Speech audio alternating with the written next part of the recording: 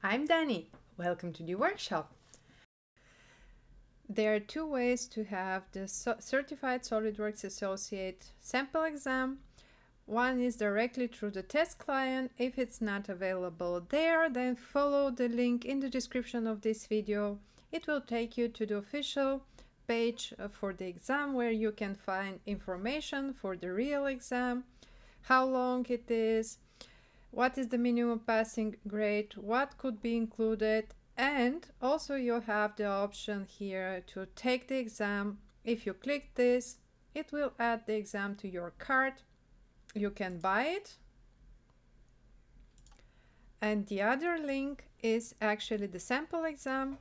If you download the one from the website, you will either have only PDF with information for the exam, if it's other than this one, or in this case a zip file which contains some of the files which you will need for the sample exam and also PDF with the exam itself. Certified SOLIDWORKS Associate Sample Exam Question 1. To create drawing view B, it is necessary to sketch a spline as shown on drawing view A and insert which SOLIDWORKS view type.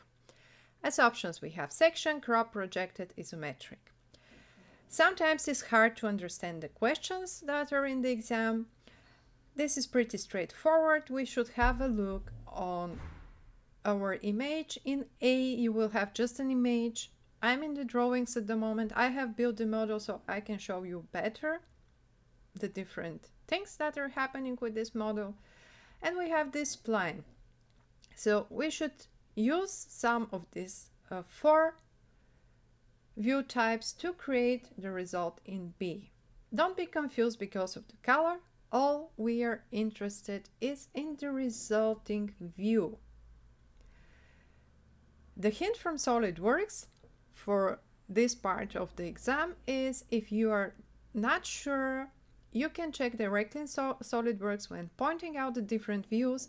You will have a short description and images, what are the results they give. In this particular question, the answer is crop because there are only two views that are using spline as a base. And these are crop view and broken out section. But broken out section is giving completely different result. So let's go through the different view types. So the first one, A, is section.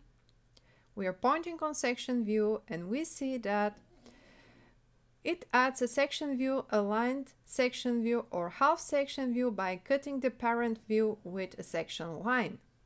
In view B, we don't, don't have a section line and actually we don't have any section, so it's not possible to be this view. I will add a section view just to see what is the result of this product. Now I will delete it. The next is, as I said, this is the crop view.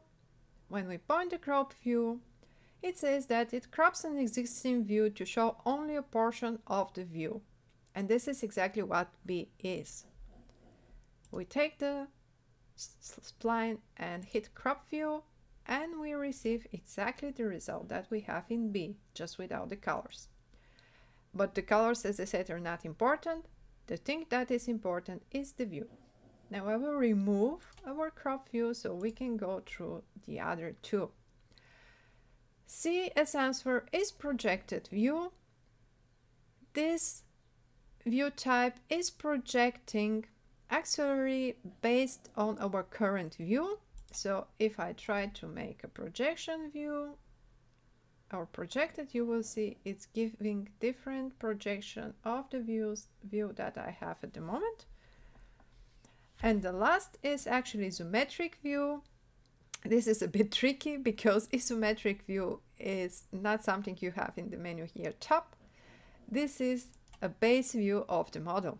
So we have front, top, left, back, isometric, trimetric, and dimetric views. So A is isometric view, but B is crop view. So be careful not to mistake what is the assignment and what is the question about because here you can be confused and choose isometric and that's wrong.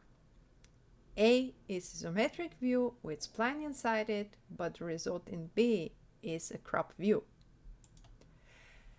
If you have some more questions related to this question one, please write them down in the comment section of this video. I hope you enjoyed this video and I hope to see you next time. Bye!